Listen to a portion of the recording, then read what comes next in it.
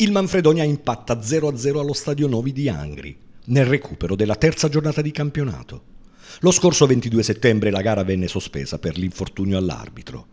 La partita ripresa ieri dal ventitresimo minuto è stata tutto sommato dominata in lungo e in largo dai biancocelesti.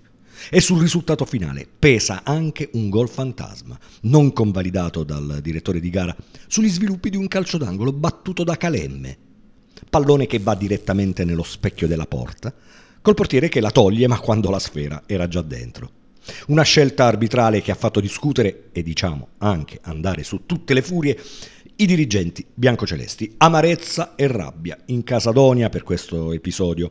Le dichiarazioni in merito di Livio Scuotto al termine della partita sono state particolarmente dure. Il direttore sportivo ha chiesto alla società di farsi sentire ai livelli alti.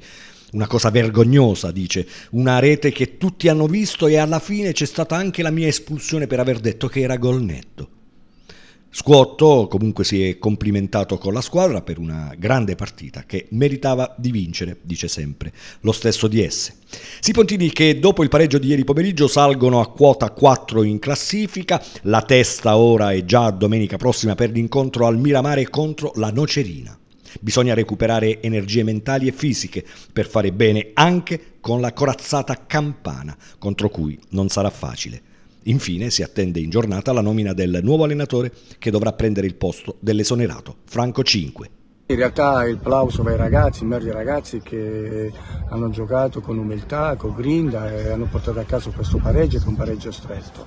Ripetiamo la partita qui ad Angri dopo l'infortunio dell'abito di 15 giorni fa e questo già bisogna spiegare alla Lega che il campionato Serie D è un campionato a tutti i livelli professionistico per gli investimenti che si fanno, per i soldi investiti e quindi ritrovarsi in, con sei, sei partite in un mese diventa difficile anche programmare. Ma a questo diciamo, togliamo perché si supera, la rosa c'è, però in realtà oggi se quello che abbiamo visto è un gol tolto a Manfredonia vuol dire che è stato scippato un risultato, ma scippato un risultato a questi ragazzi.